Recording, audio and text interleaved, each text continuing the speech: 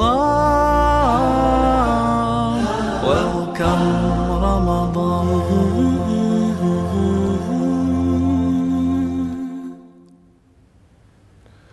Bismillahirrahmanirrahim.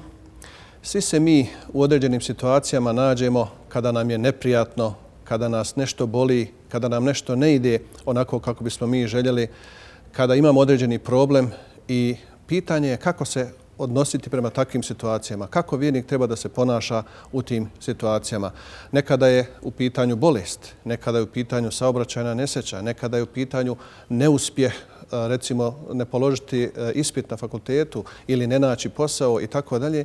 Dakle, Allah Đelešanuhu nas namjerno stavlja u ovakva iskušenja, sve ljude, bez izuzetka, stavlja nas u ovakva iskušenja da se vidi kako ćemo se mi ponašati. Ali, između ostalog, u ajetima i hadisima saznajemo još neke dodatne momente na koje treba obratiti pažnju. Prije svega, Allah Đelešanuhu u Kur'ani Kerimu kaže وَمَا أَصَابَكُمْ مِمْ مُسِيبَةٍ فَبِمَا كَسَبَتْ اَيْدِيكُمْ Što znači, kakva god vas nevolja zadesila, to je zato što ste vi radili ono što niste trebali da radite. Dakle, generalno znamo da Allah Đelešanuhu je pravedan. Nikome nepravdu ne čini. Tako i nama, ukoliko dođe takva situacija, bolest, nesreća, problem, belaj, briga i tako dalje, trebamo da se preispitamo kako mi živimo, kako radimo, gdje griješimo, kakve probleme pravimo i šta radimo što nije u skladu sa Allahom Đelešanuhu voljo i e, praksom poslanika Muhammeda sallallahu alaihi ve sellem, pa će nam onda biti jasnije zašto nas je nešto zadesilo i onda ćemo gledati u budućnosti da ne radimo te greške i, i onda nas Allah Đelešanuhu neće ponovno stavljati u takve situacije. Na ovu temu imamo i vrlo lijep vjerodostojan hadis u kojem poslanik sallallahu alaihi ve sellem kaže ma yusibul muslime min nasabin wala wasabin wala hammin wala hazanin wala أذى wala غم hatta shawkatu يشاكها illa kaffara Allahu biha min خطاياه što znači šta god muslimana zadesi bilo da je to umor bilo da je to bolest bilo da je to tuga briga žalost čak kaže i ukoliko čovjeka obični trn ubode zbog svega toga vjerniku Allah dželle briše njegove grijehe. Evo dakle na prvi pogled kad nas zadesi nešto od ovih problematičnih situacija, obično se čovjek uh, one raspoloži, obično kare pa što baš mene ovo zadesi, pa što nije nekoga drugog i tako dalje.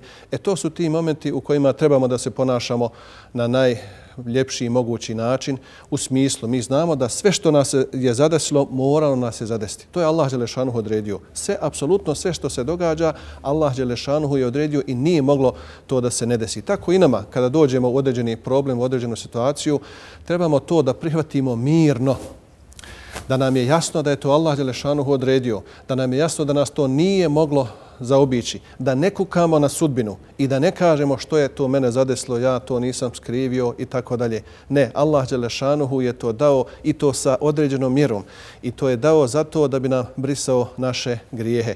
U tom smislu, dakle, doćemo u situaciju, ako boda kada se budu polagali računi, pa će biti oni koji će zaželjeti i e, zažaliti zato što ih Allah Đelešanhu nije više stavljao u ta iskušenja kada vidi koliko, kolike su te nagrade.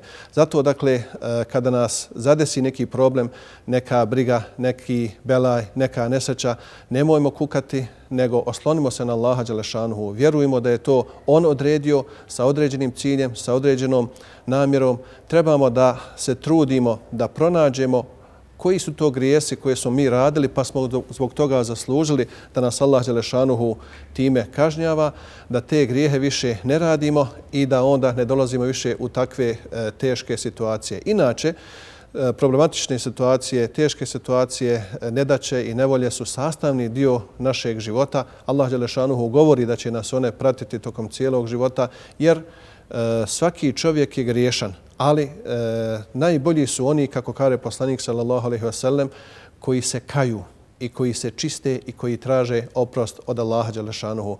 Zato, dakle, ponašajmo, e, ponašajmo se na ovaj način, prihvatimo ono što nas zadesi, nemojmo kukati, osaburimo, E, izdržimo u tim situacijama i onda će nas Allah Đelešanuhu nagraditi onako kako e, želimo i kako je najbolji. Molim Allah Đelešanuhu da nam podari da se upravo tako ponašamo u tim situacijama i da zaslužimo e, lijep, život, sretan život na ovome svijetu i svakako Allahovo zadovoljstvo i vječno uživanje u džennetu. Amin.